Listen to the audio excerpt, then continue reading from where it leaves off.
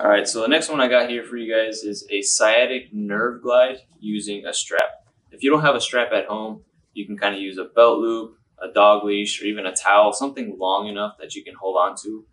And what we're gonna do is we are gonna lay back, or we're gonna throw that strap at around the balls of the feet there, right? So we're gonna have this leg straight, and you're gonna give a little bit of tension on that band, on that strap. So you're gonna pull that toe towards you, then you're gonna flex the toe in the air.